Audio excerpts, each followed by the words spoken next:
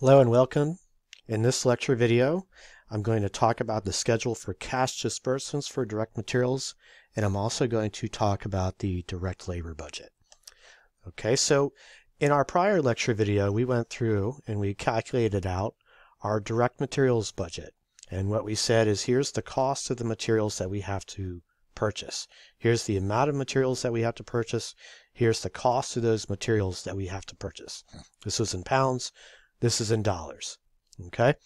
So now what we say is, well, how much cash do we have to pay for all of this? Because when we purchase these from this, these direct materials from our suppliers, our suppliers are granting us credit, which basically means we can purchase some of these materials using our credit card, more or less. Okay.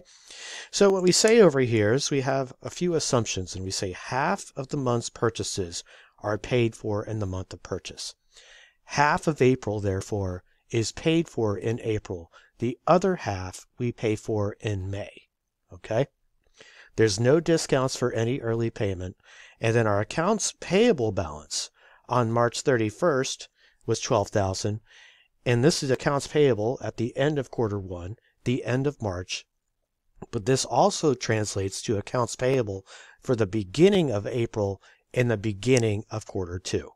Okay, and that's something that we've talked about in prior budgets that this is at 11:59 p.m. on March 31st.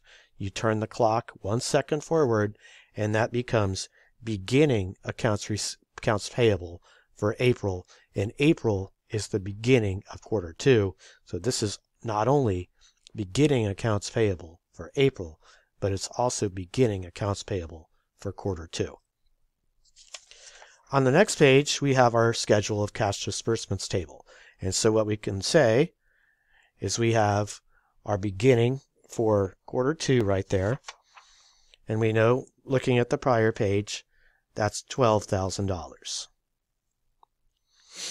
And then what we say is April purchases paid for in April, April purchases paid for in May. That's the way this table works.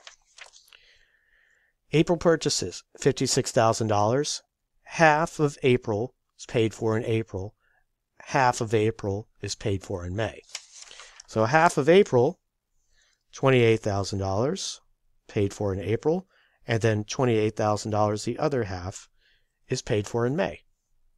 We can add these two, and this is the total cash that we have to pay for our direct materials purchases in April. Okay, 40,000, the 12 plus the 28 gives us the 40. Now, just similar to what we did with our schedule for cash disbursements, I mean, schedule of cash receipts. This is our schedule of cash disbursements. So similar to what we did for our schedule of cash receipts, we want to determine what is accounts payable at the end of April. So basically, it's $28,000 because that's how much we still owe for April purchases. So if you think about this, what we are doing over here in terms of journal entries. So for April, we debit raw materials for $56,000, and then we credit AP accounts payable for $56,000. And then what we do to pay to pay some of this that we did over here, we debit accounts payable for $28,000 and then we credit cash for $28,000. So if we think about this in terms of our T account right over here for accounts payable, we had 56 right over here. And then we put the debit right over there, 28,000, which means we have leftover of 28,000 right over there. This is our balance in accounts payable at the end of April. 28,000 is the balance for accounts payable at the end of April. Okay? This is how much cash we pay for April, but 28,000 is the remaining that we still owe for April purchases because we only paid for half in April. Okay? So here's what I want you to do. I want you to stop the lecture video, complete this for May, June, and for the quarter, and tell me AP for quarter two. What is accounts payable for quarter two, and what is the total cash disbursements for quarter two. So pause the lecture video and then complete the table and let's come back and check your work. Okay, hello and welcome back. So you can see over here for May, we have half of May purchases paid for in May. Add that to half of April purchases that we also paid for in May. We add those two together, cash disbursements for May, 72,300. Repeat the same thing for June, half of June purchases paid for in, and I'm sorry, half of May paid for in June, and then June purchases half of June paid for in June. Add those two together, 72,700, adding across right over here, $185,000 is total cash disbursements for the quarter. I also asked you to calculate accounts payable at the end of quarter two. So remember what we did for the schedule of cash collections? We were talking about accounts receivable. And I asked you in that lecture video, what is accounts receivable at the end of June and accounts receivable at the end of the quarter? And they were the same answer. Why are they the same answer? Because the end of June is the end of the quarter. It's the same thing over here. What is accounts payable at the end of quarter two? It's the same as accounts payable at the end of June. How did I get 28,400, which is the correct answer? It's the 56,800, which was this.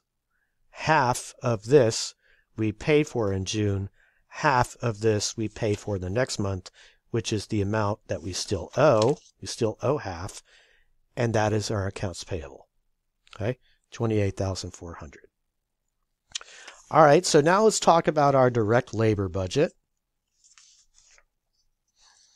So our direct labor budget is going to show us the total direct labor costs for the period. And the way that we're going to figure that out is by saying how many units are we going to produce and what we also need to know is how long does it take on average for one of our assembly line workers to make the units? Does it take them 30 minutes to make a unit? Does it take them 10 minutes? Does it take them an hour? And then how much do we pay them on average per hour? So what we're saying over here, if we look at this, each unit requires 0.05 hours of direct labor. And each hour that we pay them on average, it costs $10. So we're using an average rate of $10 here. So we're not separating this out by maybe junior assembly line worker and versus senior assembly line worker. Maybe senior gets paid more and junior gets paid less. And then we split it out between junior and senior. We just take the average of those two just in the interest of keeping a little bit less complex. Okay. So we're taking the average wage rate. All right. And so we say over here, once calculated, we can determine, we can, this can help us determine how many employees do we need. So let's go ahead and start to complete our schedule right over here, our direct labor budget. The first thing that we need to know is how many units we are we going to produce. And where do we get that from? Our production budget. So we have to look towards our production budget. So if we look back at the production budget, we would see we're going to produce 26,000 units for April and 46,000 units for May. And it says right over here, each unit requires 0.05 hours.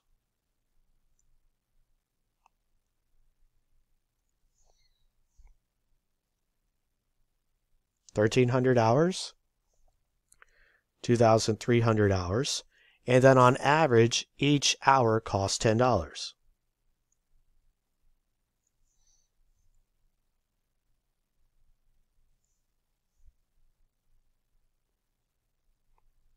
Okay?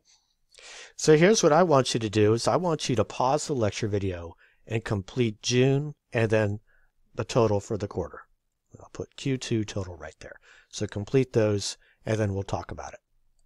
Okay, so let's see how you did. So June, 29,000 units, which you get from the production budget, times the 0.05 hours per unit, means we need 1450, 1,450 hours total, times the $10 per hour. This would be our cost.